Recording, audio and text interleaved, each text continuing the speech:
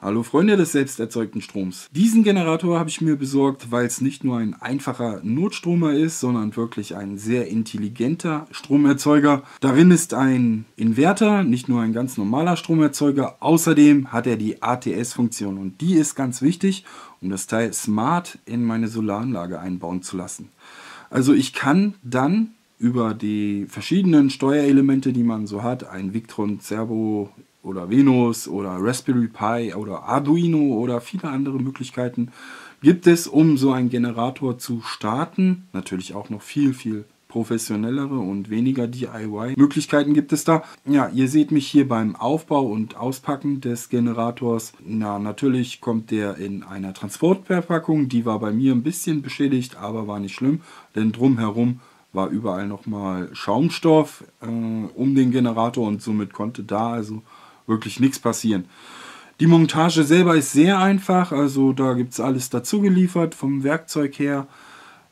Zwei Maulschlüssel mit den verschiedenen Größen für die Verschraubungen und die Muttern. Und damit kann man das Teil wirklich in ja, Minutenschnelle aufbauen. Also die Räder, die Stützen und diese Halter sind schnell montiert. Insgesamt ähm, war es dann sehr einfach. Das Bedieneroberfeld ist selbsterklärend. Es gibt noch ein paar Sticker dazu, worauf man achten soll. Natürlich muss man Benzin nachfüllen und den Ölstand muss man überprüfen. Also die Dinger werden ohne Flüssigkeiten ausgeliefert. Man muss natürlich Öl nachfüllen. Das ist alles sehr einfach und ging auch sehr schnell und natürlich muss man auf die Sachen achten, dass man mit dem Öl nicht kleckert und so weiter.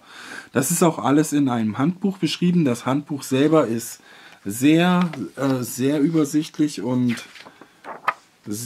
ist auch in einem guten Deutsch beschrieben und sehr übersichtlich. Man kann hier alles nochmal genau nachlesen, was man hier für Steckdosen, welche Steckelemente und welche Sachen, ähm, ja, Schutzeinrichtungen da verbaut sind.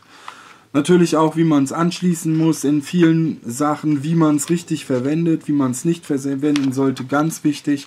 Und zu guter Letzt ist auch noch ein Schaltplan dabei. Jeder, der so ein bisschen Ahnung hat, wie man sowas liest, der weiß natürlich, ähm, so einen Schaltplan kann man dann ähm, ja, auslesen, um die ATS-Funktion, die PIN-Belegung zum Beispiel herauszufinden, um ihn dann entsprechend anzusteuern, sodass er startet, wenn man es benötigt und dass er ausschaltet, wenn man ihn nicht mehr benötigt. Das habe ich alles schon mal gezeigt in einem Video. Gern verlinke ich euch das Video. Und wen das interessiert, der sollte sich das auf jeden Fall anschauen. Denn als Notstromer oder halt für das Tal der Tränen, wenn die Sonne nicht so sehr scheint, dann ist es natürlich eine tolle Option, um so einen Generator ähm, in die Solaranlage einzubinden. Ja, im Prinzip Benzin auffüllen, äh, Öl auffüllen, dann den Ölhahn aufdrehen und einfach mal versuchen zu starten. Das habe ich auch gemacht.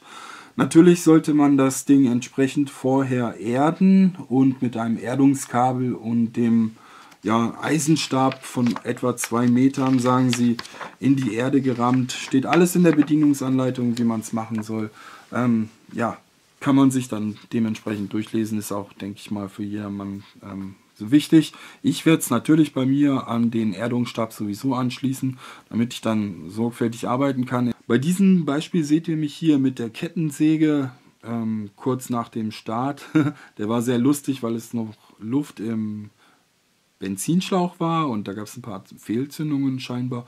Oh, aber letztlich, er lief dann und diese Leistung von dem Generator ist wirklich ausreichend für eine Kettensäge, seht ihr, und gleichzeitig noch eine Powerstation beladen. Man könnte jetzt auch alternativ ein Elektroauto und äh, vielleicht noch eine Powerstation beladen. Also das ist schon mehr als äh, üblich aus der Steckdose und dafür gibt es auch die große 32 Ampere Steckdose, aber natürlich auch die normale 16 Ampere Steckdose getestet von mir. Aber wenn es noch weitergehen sollte, habt ihr da auch noch eine große Steckdose.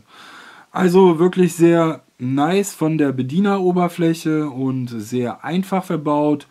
Die Räder sind leicht gewesen dran zu bauen und danach ist es wirklich auch sehr einfach, das Teil zu handeln und somit auch ja fast für jede Anwendung äh, Outdoor oder halt im Garten geeignet, auch Baustelle. Bei weiteren Fragen stehe ich natürlich gerne zur Verfügung. Schreibt es mir einfach in die Kommentare. Würde mich freuen, wenn es Feedback auf den Generator gibt.